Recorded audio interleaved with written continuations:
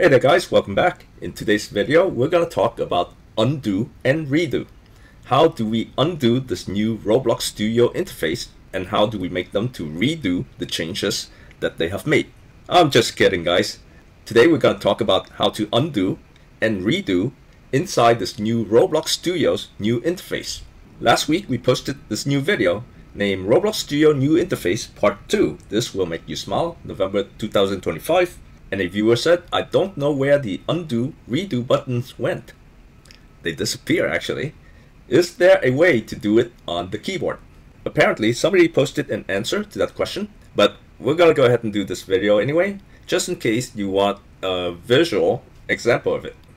Apparently when the developer you know, um, made this brand new Roblox Studio interface, they forgot to include the undo and redo button. So now the question is, how do we do undo in this new Roblox Studio interface? As stated by this person, Control Z to undo, Control Y to redo. For a visual example of that, let's go ahead and do it inside Roblox Studio. So here I have the new Roblox Studio interface. See how beautiful it looks, but I guess a lot of people would disagree. And now if I go into my script here, let's, how about we go into this script here? Wow, that's a big script. I was looking for something small, and let's say if I want to go and change this voice ID here from 1 to 2.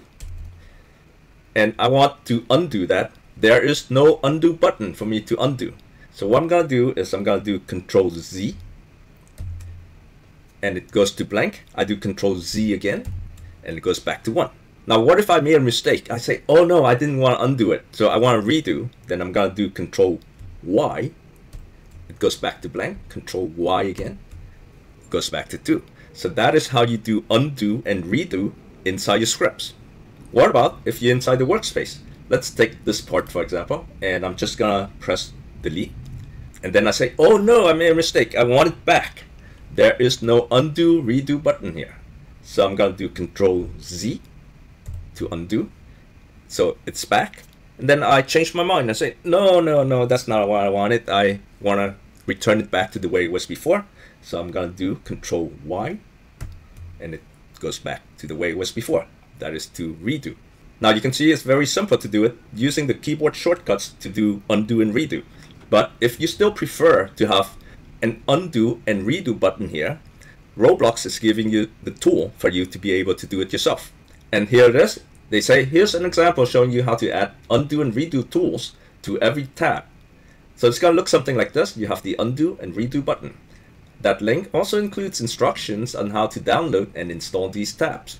So it looks like you're gonna have to do some work here. It's, not like a, an easy thing to do. If you like, I can include this link here in the description of the video for you to give it a try. As for me, I'm okay with using the keyboard shortcuts Control Z and Control Y to undo and redo. Even when they had the undo and redo buttons before, I rarely used them because I just like to use the short the, the keyboard shortcuts better.